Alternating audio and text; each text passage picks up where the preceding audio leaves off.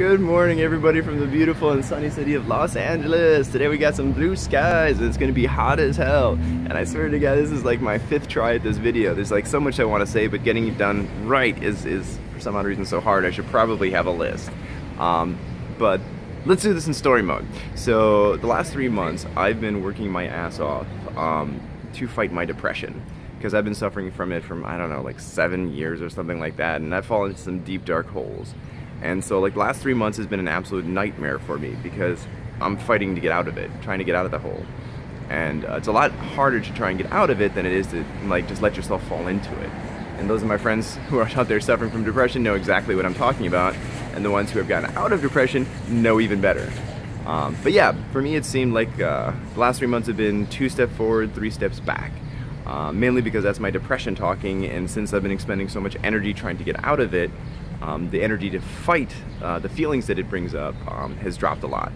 But um, I've started to institute a lot of new pol not policies, but different things for myself.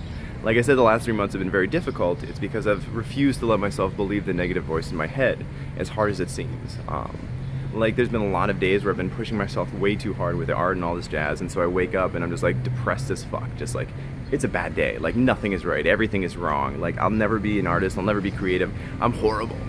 Um, but it's just, you just, I've just ignored it. Like what I've decided to do and what I've tried to do and what I want to tell other people to do um, is to ignore that. And I know it's impossible and it's hard to, impossible to ignore it completely, but it's like, um, you have to set your your eyes externally. Like you can't look at yourself for any of like the feedback. Uh, because you're going to be lying to yourself. It's not your fault you're lying to yourself. It's because you're depressed. Um, the feedback you need to look out, you need to look out to the people around you because, like I've always said, that I don't have friends, I don't have a community, I don't have this or that. But it's like in these last three months when I've just been ignoring the voice and trying to reach out and trying to do and trying to move forward, even though it feels like I'm moving three steps back with every two forward it's like I am moving forward. And like um, I think I said in this video that was last night, I was just at a friend's barber shop down the street from my coffee shop. It was like out there until midnight or something like that, chilling and smoking, and, and I was sketching while a couple of the guys were getting tattooed, and some of them were doing like fades on the hair because they're barbers and stuff. So like a whole huge night of creativity.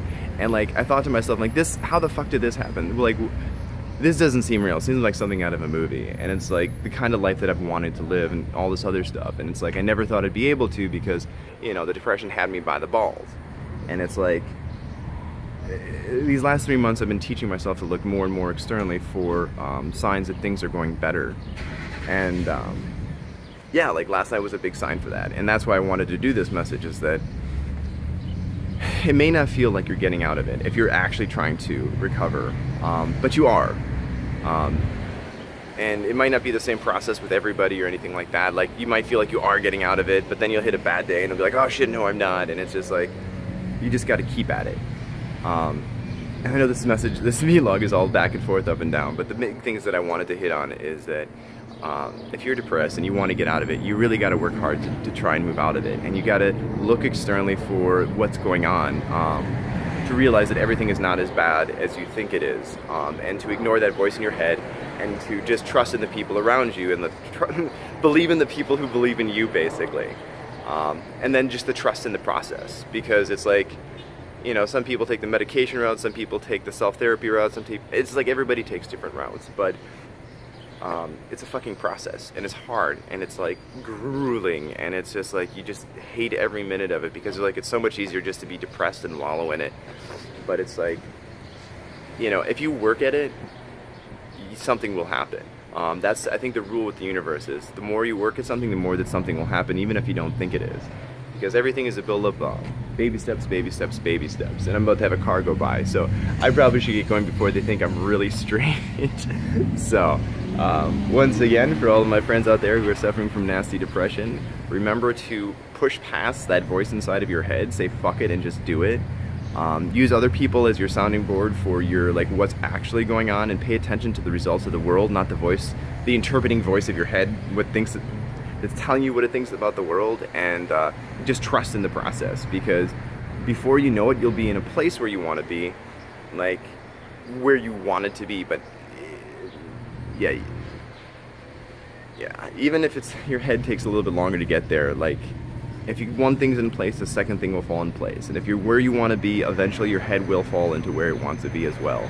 So I hope everybody's having a great week. It's Wednesday here. I've got a hell of a lot of stressful projects going on, so I'm gonna go use my energy and devote that to that. So hope you all have a great day.